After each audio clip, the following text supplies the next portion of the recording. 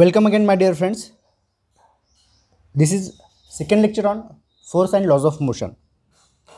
So, in this lecture, we will discuss the Aristotle's law, yes, the Galileo's contribution and the Newton's contribution, yes. So, see here, so before the Newton, so as we know, we know the, the laws of motion, it was given by the scientist Newton.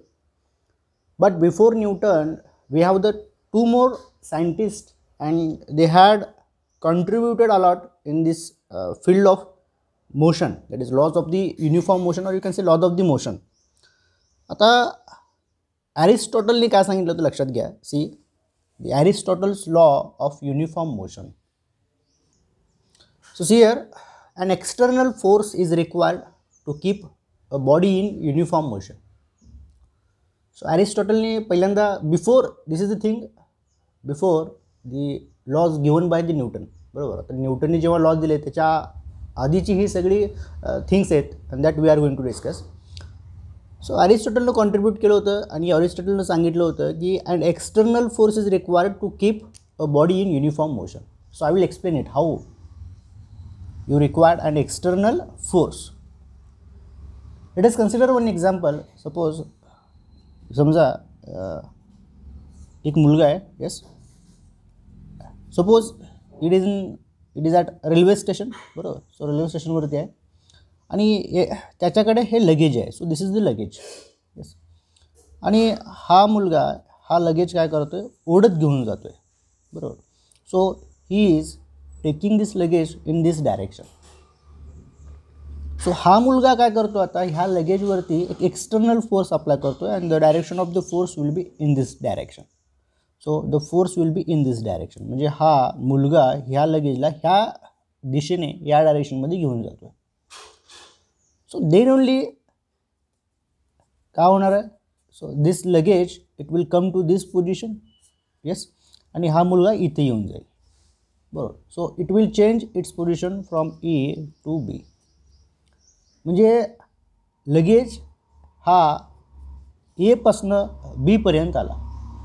Yes dear students so there is a change in the position so the luggage is in motion so luggage मोशनमध्ये काय आला? It is due to the external force बरोबर. म्हणजे external force लागतो आहे आणि ॲरिस्टॉटलचं हे observation एकदम perfect होतं की एखाद्या बॉडीला जर तुम्हाला मूव करायचं आहे मूव करायचं in the in the sense जर एखादा बोललं तुम्हाला युनिफॉर्म मोशन युनिफॉर्म मोशन म्हणजे काय? Constant velocity the velocity is same जर कॉन्स्टंट वेलॉसिटीमध्ये ठेवायचं असेल so what you required you required here the external force and this was the law given by the which scientist the Aristotle scientist बरोबर. म्हणजे ॲरिस्टॉटलने फक्त आता युनिफॉर्म मोशनबद्दल बोललं होतं आणि काय सांगितलं त्याने? की external force is required and this was the observation by Aristotle yes but dear friends so there is a failure in this law of Aristotle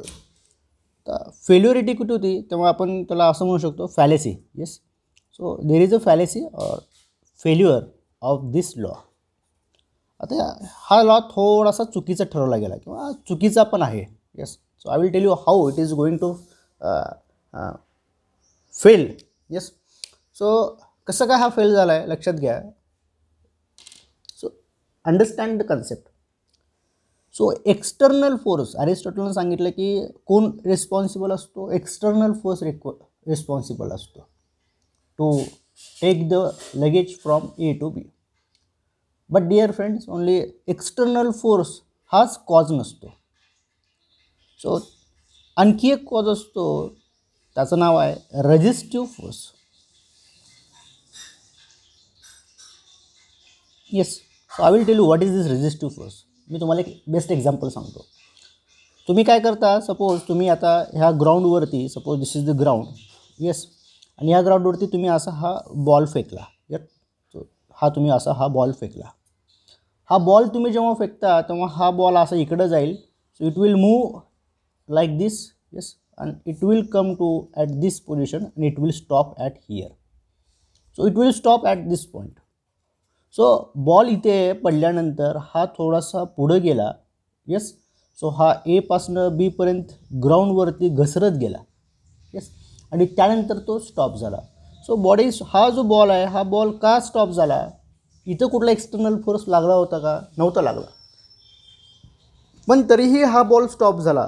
तर बॉल का स्टॉप झाला? कारण ह्या बॉलवरती डिअर स्टुडंट्स या बॉलवरती एक फोर्स ॲक्ट झाला that force is called as a resistive force. What it is resistive force हा रेझिस्टिव्ह फोर्स कुठे ॲक्ट होतो? ह्या बॉलमध्ये आणि ह्या ग्राउंडमध्ये बरोबर? सो समजा हा असा बॉल आहे आणि suppose this is your ground बरोबर? हा आपलं ग्राउंड आहे.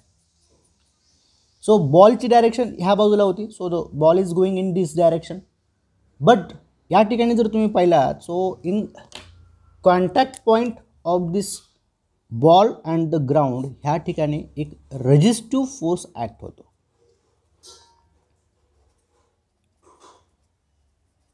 येस सो रेजिस्टिव्ह फोर्सला दुसरं नाव आहे frictional force that called as frictional force frictional force का because here is the friction so here it is what due to the frictional force बरोबर हा रेझिस्ट आहे. ह्या रेझिस्ट ह्या मोशनला हा काय करतो? रेझिस्ट आहे त्याच्यामुळे याचं नाव काय पडलं? Resistive force so the force is what frictional force बरोबर. ह्या फ्रिक्शनल फोर्सलाच आपण काय नाव देतो आता? Resistive force so due to that resistive force हा काय करतो? आपला बॉल एपासून बीला जायला बघतोय. पण ग्राउंडमधला जो रेझिस्टन्स आहे त्या रेझिस्टन्स काय करतो? ह्या बॉलला स्टॉप करायला बघतोय.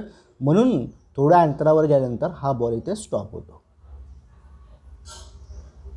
येस म्हणजे लक्षात घ्या आता. आता मी हे सगळं का सांगतो लक्षात घ्या. येस सो सिंपल कन्सेप्ट आहे की समजा लगेज आहे. येस सो सेम एक्झाम्पल की समजा हा लगेज आहे. आणि हे लगेज जर आपल्याला एका बाजूवरनं ह्या ए पोझिशनवरनं बी पोझिशनला घेऊन जायचं आहे. So the force is going to act in this direction but dear students see here हा जो फोर्स आहे हा external force this is the external force yes so external force आहे. सो या ठिकाणी ह्याच्या अपोजिट डायरेक्शनला एक फ्रिक्शनल फोर्स ॲक्ट होणार आहे. येस आणि हा फ्रिक्शनल फोर्स केव्हा ॲक्ट होतो जेव्हा ग्राउंड आणि कशामध्ये? ह्या लगेजमध्ये so in contact yes so जेव्हा आपला एक्सटर्नल फोर्स हा ग्रेटर दॅन असेल फ्रिक्शनल फोर्सपेक्षा लक्षात घ्या एक्स्टर्नल फोर्स लक्षात घ्या म्हणजे दहा न्यूटनचा जर हा फोर्स असेल आणि हा फ्रिक्शनल फोर्स फक्त दोन न्यूटनचा लागत असेल. सो इम हा हे कुठले झाले आता?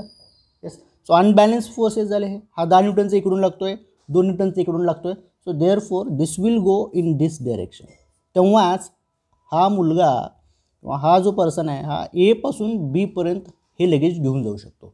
What is the case the case should be the external force should be greater than frictional force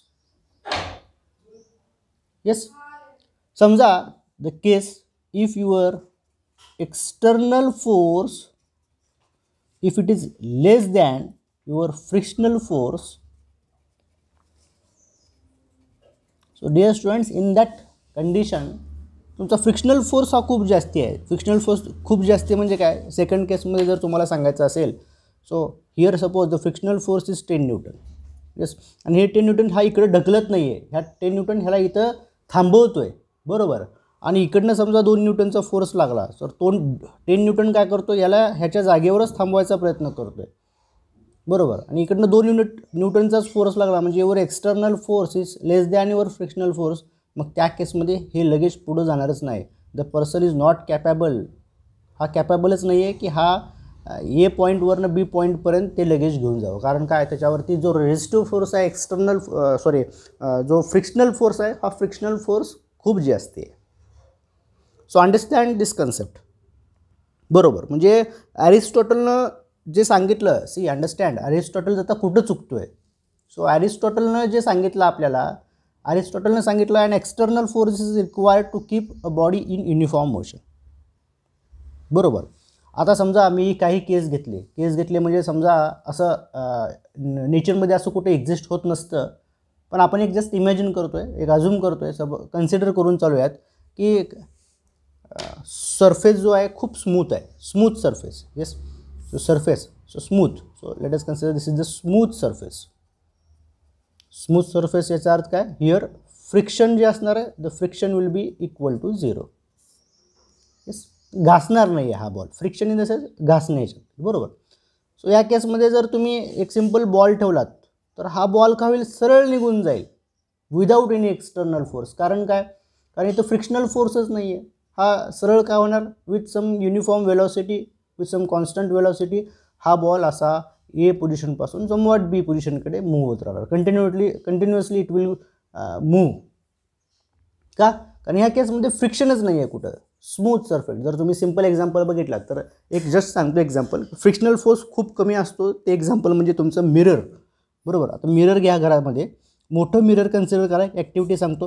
ह्या मिररवरती काय करा आपण जे लहान मुलं खेळतात गोट्या वगैरे खेळतात बरोबर? काचेच्या गोट्या असतात. तर त्या गोट्या काय करा त्या मिररवरती ठेवा तुम्ही. सो मिररवरचं आणि हे मिररचं आणि हे गोट्याचं यांचं सरफेस एवढा स्मूथ आहे की frictional force it will be approximately equal to zero approximately equal to zero नसतो म्हणजे झिरो नसतो approximately it is equal to zero तर तुम्ही काचेवरती गोट्या ठेवला तर तुम्हाला लक्षात येईल की गोटी थोडंसं पण हे झालं की लगेच गोटी इकडनं इकडं जाते. ती फिरायला लागते. ह्या पॉईंटपासून त्या पॉईंटला जाते. असं का होतं? कारण तिथे फ्रिक्शन हे खूप कमी आहे. निग्लिजिबल फ्रिक फ्रिक्शन आहे. बरोबर. म्हणजे एक्सटर्नल फोर्स तुम्हाला केव्हा लागेल? तुम्हाला एक्सटर्नल फोर्स लागेल. जेव्हा रेजिस्टिव्ह फोर्सेस असतील तेव्हाच. ह्या एक्झाम्पलमध्ये तुम्हाला एक्सटर्नल फोर्स लागेल का मूव्ह करण्यासाठी? नाही लागणार. एक्सटर्नल फोर्स लागत नाही. Yes so what is conclusion dear students बघा अरिस्टॉटलचं मी कन्क्लुजन सांगतो.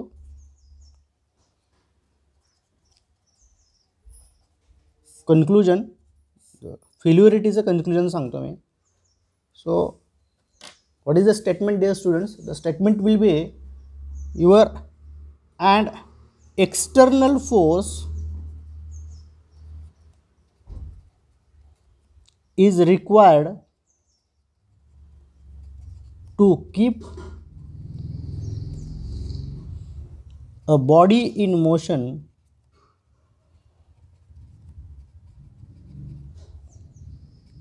only if resistive forces resistive forces म्हणजे काय like your frictional force then viscous force हे आपण शिकणार आहेत पुढं. Viscous force this not in your syllabus viscous force etcetera like frictional force viscous force are present yes dear student so मी काय म्हणतो आता? लक्षात घ्या. सी सी अंडरस्टँड वेल अरिस्टॉटलचं फेल्युअर काय होतं? की एक्सटर्नल फोर्स लागतो. एक्सटर्नल फोर्स केव्हा लागतो? जेव्हा एखादी बॉडी आपल्याला मोशनमध्ये ठेवायची असेल तेव्हा. पण केव्हा लागतो? जेव्हा रेजिस्टिव्ह फोर्सेस प्रेझेंट असतील तेव्हाच.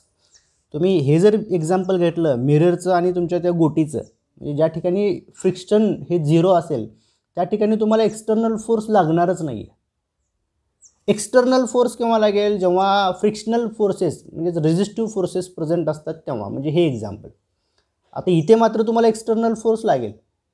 एक्सटर्नल फोर्स का लागेल? कारण ह्या केसमध्ये सी डिअर स्टुडंट्स ह्या केसमध्ये इथं फ्रिक्शन आहे.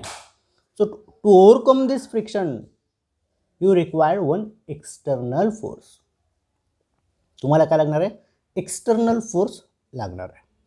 So this is about the Aristotle law of uniform motion so ॲरिस्टॉटलचं observation बरोबर होतं पण त्याचं कन्क्लुजन चुकीचं होतं. त्यांनी जी ॲक्टिव्हिटी ऑब्झर्व केली होती लगेचची ती ऑब्झर्वेशन इज परफेक्ट बट त्यांना जे त्या ऑब्झर्वेशनमधनं इंटरप्रिटेशन दिलं. इंटरप्रिटेशन म्हणजे त्यांना जे त्याचं म्हणणं मांडलं that is failure that is completely failured by the Newton और you can you can see the Galileo yes आता याच्याने पुढचं जे आहे ते गॅलेलिओ आहे. Yes so this is about the Aristotle law of uniform motion so मी आणखी एकदा रिपीट करतो. ॲरिस्टॉटलचं काय होतं म्हणणं?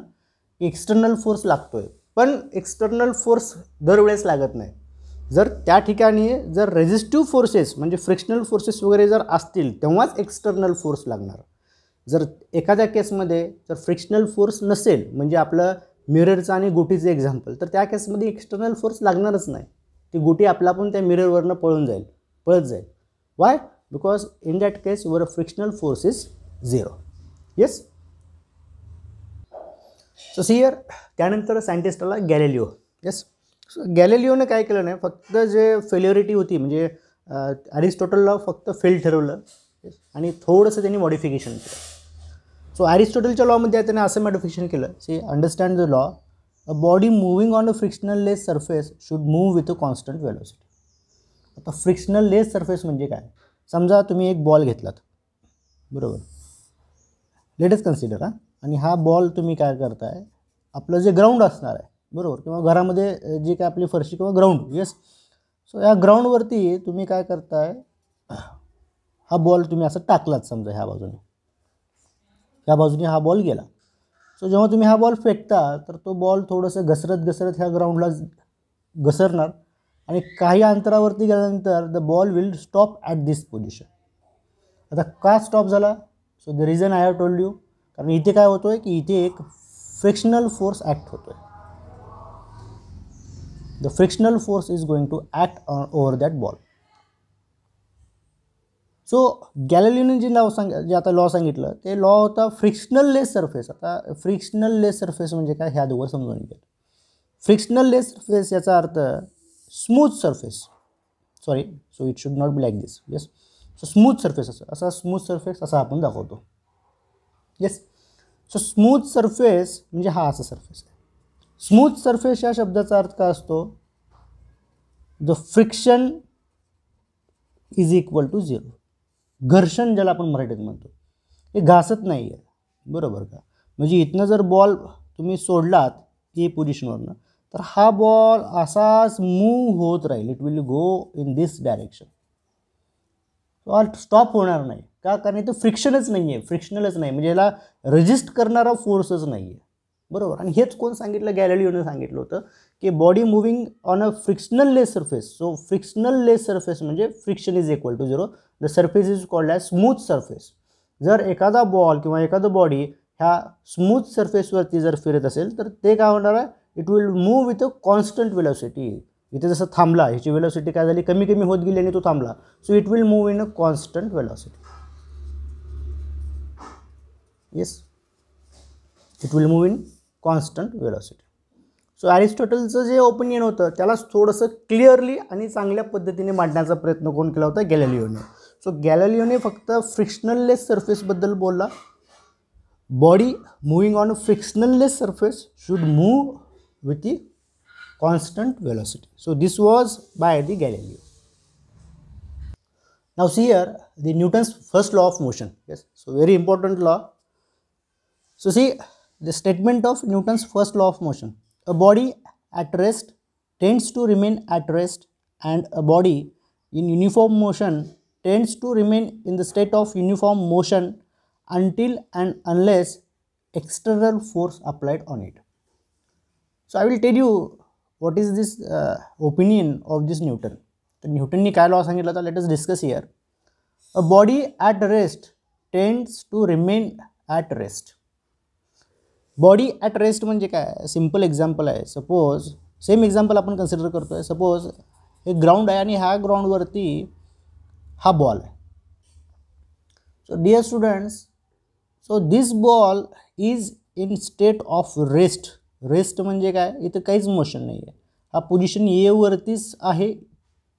After some time it will be on position A itself yes so body at rest tends to remain at rest दुसरं एक example घेतलं. A body in uniform motion tends to remain in the state of uniform motion समजा हे असं असा हा road आहे आणि लेटेस्ट कन्सिडर ही तुमची कार आहे. So let us consider this is your car so dear students let us consider that the car is moving with the velocity of 40 km per hour that is uniform velocity with some uniform velocity. So it will go in this direction. So ह्या डायरेक्शनमध्ये car जाते yes so dear student see आता हा काय सांगतोय law a body at rest tends to remain in the ten tends to remain at rest and the body in uniform motion tends to remain in the state of uniform motion ball हा रेस्टमध्ये असेल तर रेस्टमध्येच राहील. एखादी car जर uniform वेलोसिटीने जर जात असेल तर ती ह्याच स्पीडने जाईल. Until and unless external force is applied on it until and unless external force applied on it म्हणजे काय? What is the meaning of this समजा हा बॉल जो आहे तो रेस्टमध्ये आहे तर तो रेस्टमध्येच राहील.